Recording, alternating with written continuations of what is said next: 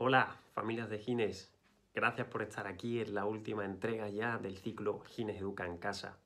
Un poco triste por tener que finalizar con esta iniciativa, pero al mismo tiempo también contento, porque llegar a este punto significa que podríamos decir, creo que podemos decir, que la peor etapa ya ha pasado y que progresivamente iremos tomando ritmo y aunque todavía no podemos estar al 100%, por lo menos sabemos que estamos avanzando.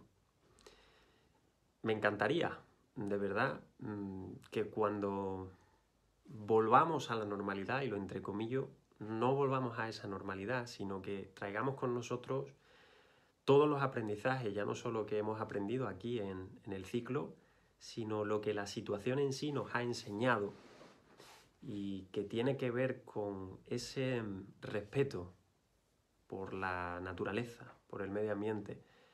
Hemos visto cómo el mundo, la Tierra, se recompone en ausencia del ser humano y eso nos da la pista de que quizá tenemos que replantear muchas de nuestras, de nuestras acciones.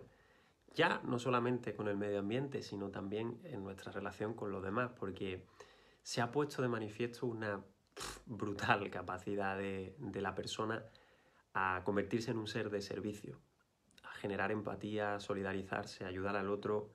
Y eso mm, creo que no debería solamente florecer en estas situaciones tan duras, sino que forme parte de nosotros para que nos ayude a mantener y a preservar un estado de equilibrio y un verdadero estado de bienestar. Fijaos cómo ha quedado de manifiesto que somos seres sociales, somos un colectivo y de alguna u otra manera nuestras acciones repercuten a todos. Ahora ha sido a través de un bichito que lo hacía más evidente, pero cualquiera de las acciones, ya sea contaminar o cualquier otra, suele tener una repercusión en toda la humanidad. Y eso nos indica que todos estamos conectados. Lo que también nos hace ver que cada una de nuestras acciones individuales va a afectar a todo el colectivo. Y eso también es bueno, porque cada pequeña buena acción puede tener una gran repercusión. Así que bueno, quedaros con eso. Eh, papis, mami, han sido muchos contenidos los que en estos diferentes vídeos hemos adquirido. Y aunque nos faltan muchísimas más herramientas, nos ha dado tiempo a abordar las que nos ha dado, pero aunque nos faltan muchísimas más, voy a cerrar todo esto de la misma manera en la que lo hago con los padres y madres que han recibido el taller, que han recibido la formación completa.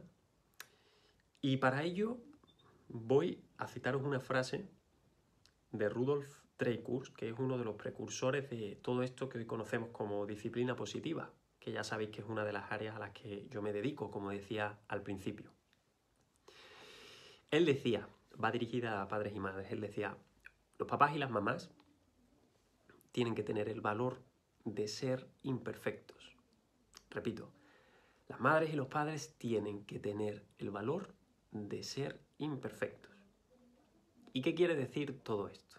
Bueno, cuando los padres terminan la formación, se llevan consigo una gran cantidad de herramientas y nuevos conceptos que antes no, eh, las situaciones de la vida cotidiana no eran conscientes, pero ahora sí, ahora sí lo son.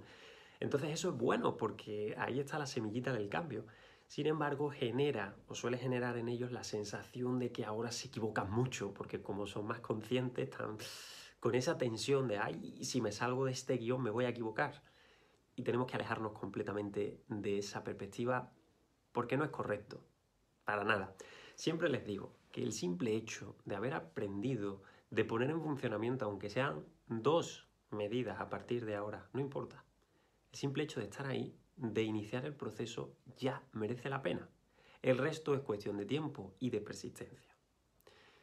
Tenemos que tener claro que la perfección no existe. No existe la persona perfecta. Sin embargo, vamos por nuestra vida intentando exigirnos esa perfección y en muchos casos también se la exigimos a los demás, pero a los que se lo exigimos casi con total seguridad es a nuestros niños y a nuestras niñas. Y es bueno que salgamos de ahí. Ser imperfecto significa asumir que puedo equivocarme Y como decíamos en vídeos, en anteriores, equivocarse está bien. No es lo importante. Lo importante es cómo reparo ese error. Y eso es lo que vamos a aprender hoy aquí. Os voy a dar tres pasos para reparar un error, las tres R's que debéis recordar para arreglar un error. Eso quiere decir que tenéis que aceptar que los errores van a formar parte del camino y que no pasa absolutamente nada. Que si me equivoco, lo arreglo en la medida de lo posible y continúo mi camino. Que eso es parte del camino, es parte del entrenamiento. ¿De acuerdo? Bueno, pues coge papel y boli y ahí van estas tres R's. La primera es el reconocimiento. Reconocer quiere decir, vaya, he cometido un error. Lo he cometido y lo reconozco. Y el propio reconocimiento lleva añadido la capacidad de perdonarse a uno mismo. ¿Mm? Siguiente, número dos, reconciliación. Lo siento. He cometido un error. Lo siento. Cuando reconocemos ese error, cuando somos los papis los que lo hacemos con los niños, os va a sorprender como incluso en un momento en los que los niños pueden estar muy resentidos por algo que hayamos hecho, son súper rápidos y en la mayoría de los casos cuando dicen lo siento, los niños normalmente dicen no pasa nada. Son muchísimo más rápidos que nosotros para perdonar aunque nos cueste aceptarlo y si no poneros a prueba. Primer paso, reconocimiento. Segundo paso, reconciliación. Tercer paso, resolución. Llega el momento de buscar una solución a lo que ha ocurrido.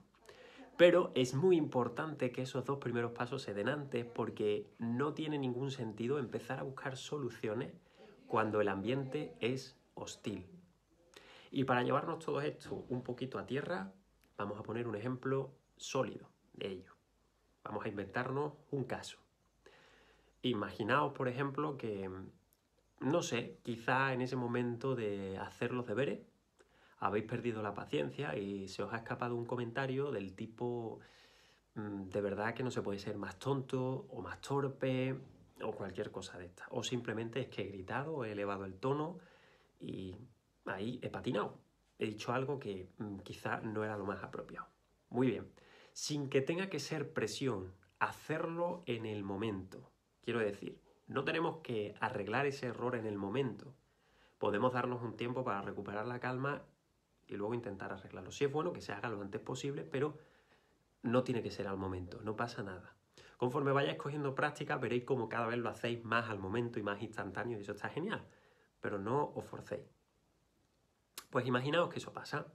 Mi primer paso sería el de el reconocimiento, decir, mm, he cometido un error, me di cuenta. Y además lo expreso, ¿eh? no solo a nivel mental, sino que lo verbalizo. Hijo mío, hija mía, mm, me he equivocado, acabo de cometer un error. Segundo paso, lo siento porque te he gritado y gritar hemos dicho que no sirve para nada en casa. Tendría que haberlo expresado de otra manera. Además, yo no pienso que seas torpe. He perdido la paciencia. Lo siento. Y por último, la búsqueda de una solución. Por ejemplo, oye, ¿qué te parece si a partir de ahora, si ves que estoy elevando un poco el tono de voz, me haces un gesto como el de la mano o cualquier otro para ayudarme a recuperar el control? Y os va a encantar la colaboración a la que se van a prestar cuando eh, le deis esa, esa posibilidad de que ellos participen. En definitiva, todo esto para qué nos sirve? Nos sirve para atender a uno de los principios de la disciplina positiva que dice lo siguiente. Los errores son oportunidades maravillosas para aprender. Lo recalco otra vez. Los errores son oportunidades maravillosas para aprender. Si sois capaces de aceptar el cometer un error como una aventura de aprendizaje, vais a ganar mucho, no solamente a nivel individual, porque aprenderéis a perdonaros, a aceptar los errores y a trabajarlos, sino que estaréis siendo una referencia para vuestros hijos y en muy poco tiempo estarán haciendo lo mismo. Pero lo que no podemos hacer es exigirles pedir perdón, exigirles reconocer errores cuando no tienen una referencia. ¿De acuerdo? Ese es nuestro trabajo. Y a partir de ahí os tenéis que mover. Por favor, papá, mamá, haced el esfuerzo de pedir disculpas alguna vez. Y para ello os voy a dar, os voy a dar un pequeño truco para que lo podáis implementar. Por ejemplo, en la comida, en la cena o en cualquier otro momento en el que la familia esté reunida, abrid una ronda de reconocimiento de errores. Y empieza tú mismo o tú misma. Habla de un error que hayas cometido en ese día o en días anteriores, pero habla sobre él.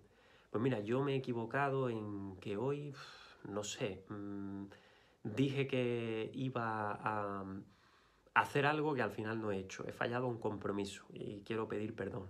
Mm. Y a partir de ahora, pues quiero buscar una solución y quiero que me ayudéis. Cuando termine, siguiente, yo quiero reconocer que tal, tal, tal. Y sigues esos tres pasos. Eso crea un clima muy bueno y trabaja mentalmente, trabaja el hábito de reconocer los errores como parte del proceso y además trabajar en buscar soluciones ante esos. ¿De acuerdo? Pues nada, familia, ha sido un verdadero placer estar con vosotros en estas semanas. Em, lo he pasado muy bien y ha hecho que todo este periodo pase muchísimo más rápido. Confío en que todo lo hablado os sirva de la máxima utilidad posible porque realmente va con todo el cariño del mundo.